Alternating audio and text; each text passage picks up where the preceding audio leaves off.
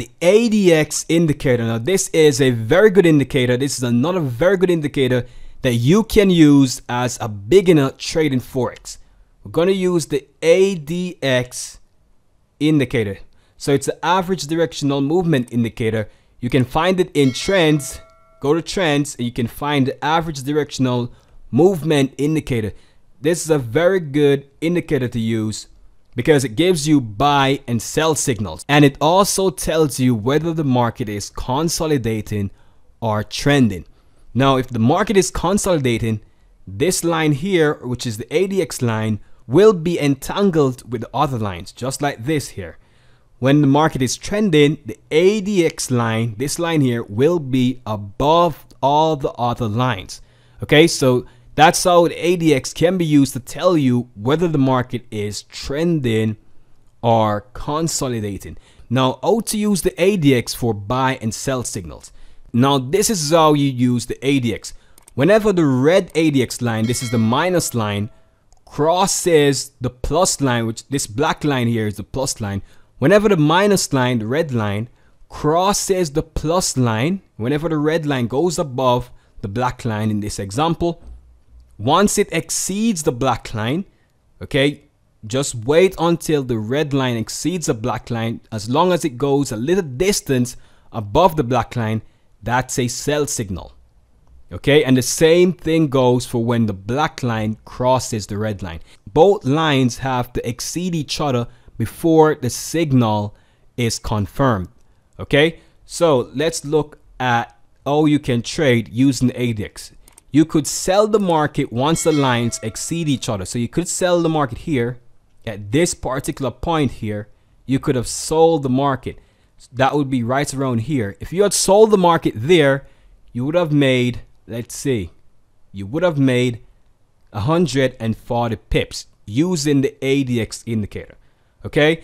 And remember, you can combine these indicators with stuff like trend lines and candlestick patterns and other indicators to form a nice forex trading strategy.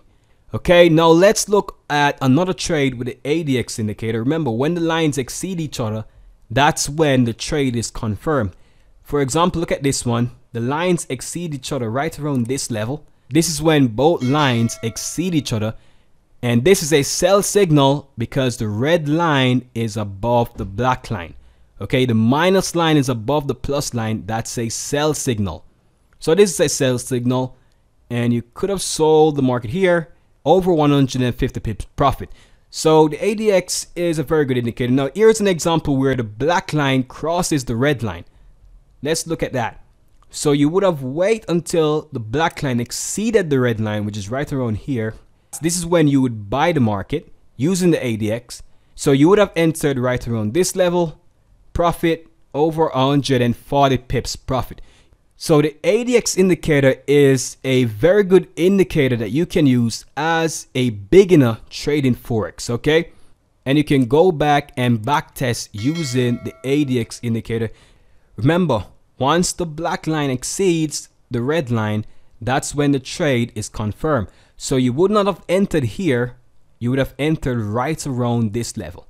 This is when the black line exceeded the red line. And if you had entered here, let's see, if you had entered there, that means you would have entered the market right around this level, and that's 160 pips.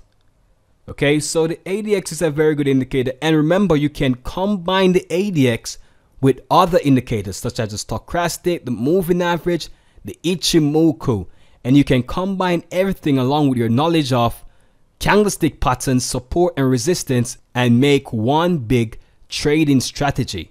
Okay, so yeah, and I can show you tons of examples of trades that you could have taken using the ADX indicator. Remember, whenever the ADX line is entangled with the other line, that's when the market is consolidating, meaning that's when the market is going sideways.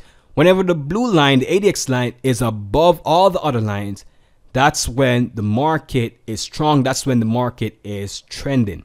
Here's another trade that you could have taken using the ADX indicator. Remember, you wait until the lines exceed each other.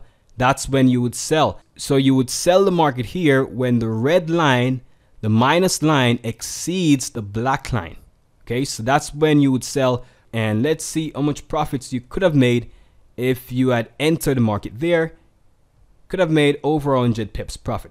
Now, nothing is 100%, so there might be times when you enter too early using the ADX, which might result in a loss, and that's because nothing is 100%. So here's an example of that. Here we have the black line crossing the red line, okay?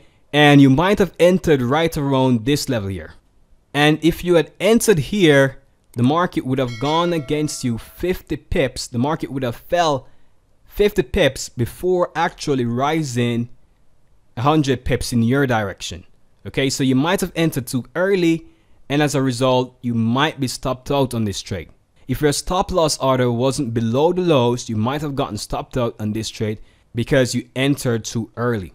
Okay, so nothing is 100%, which is why it's good to combine these indicators with other indicators and with other strategies such as trend lines, candlestick patterns, support and resistance, etc and form one big plan, one big strategy of trading the market.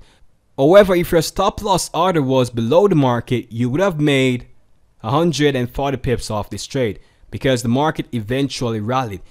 Now, one of the reasons why this is a good example is because remember, whenever the ADX line is entangled with all the other lines, that's when the market is consolidating.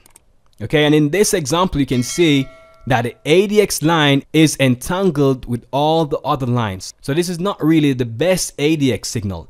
Okay. So that's how you can trade Forex using the ADX indicator.